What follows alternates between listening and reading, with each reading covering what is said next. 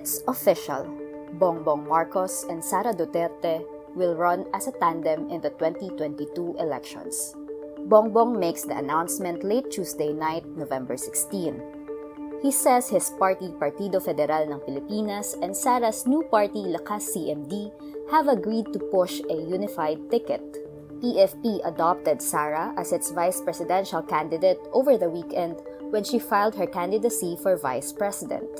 Sara says she and Lakas CMD have asked the ruling party PDP Laban to support her and Marcos. Her father's party declined. Instead, the PDP Laban Cusi faction is supporting the presidential bid of President Rodrigo Duterte's longtime aide, Senator Bong Go.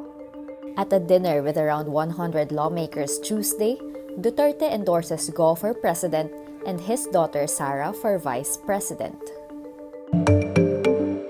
Malacanang confirms one of the lawyers of Pharmally executives Twinkle and Mohit Dargani used to work for the office of the president. The name of the lawyer is Daryl Richie Valles. A 2018 directory of Malacanang officials on the Office of the President website lists down Valles as having served as a director in the Office of the Special Assistant to the President or OSAP.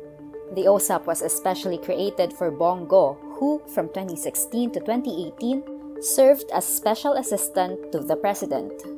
In late 2018, he resigned to run for senator. A palace source says Valles worked under OSAP since 2016.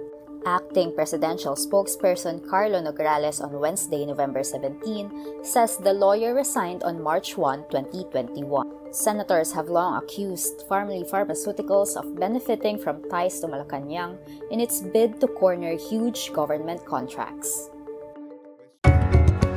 Need more context, clarity, and perspective? Get the full picture with Rappler Plus. With exclusive content and events, you'll get an opportunity to discuss issues with reporters, experts, and featured guests while helping Rappler continue its fearless journalism. Join now. An Ateneo School of Government Studies says President Rodrigo Duterte supporters have lower accuracy in distinguishing correct from false information. The survey also finds that, in contrast, student supporters of Vice President Leni Robredo are more likely to identify fake news and real news. The findings come from two rounds of surveys conducted by Boses Pilipinas in 2021. Boses Pilipinas convener Dr. Imelda Deinla says trust in Facebook as a source of information and distrust in mainstream media resulted in higher susceptibility to false information online.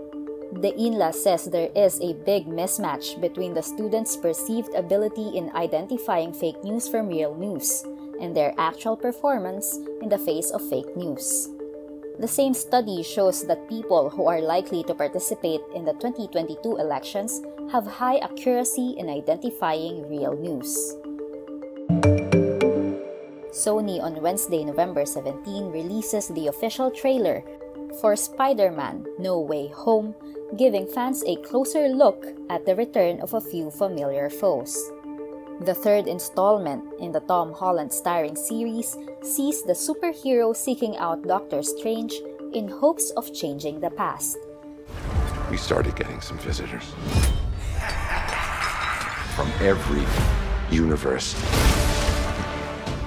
In the new three minute trailer, fans see more of Peter Parker and Doctor Strange dealing with the consequences of their spell as more villains from the previous Spider Man films appear.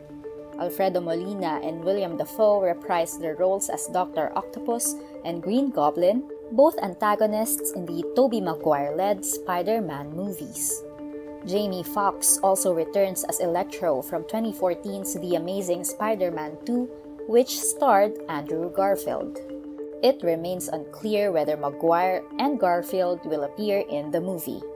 Spider Man No Way Home is set to premiere in Philippine cinemas on January 8, 2022. Harry Potter stars Daniel Radcliffe, Emma Watson, and Rupert Grint are reuniting with other cast members for a special 20th anniversary TV special. Movie studio Warner Brothers announces this Tuesday, November 16. Harry Potter author J.K. Rowling will not be among those making a personal appearance on the show. The cast members and director Chris Columbus will join the former child actors for Harry Potter 20th Anniversary Return to Hogwarts. The special will see the cast return to the original Hogwarts boarding school sets featured in the first film, Harry Potter and the Sorcerer's Stone, released in November 2001. It will be broadcast on January 1, 2022 on HBO Max.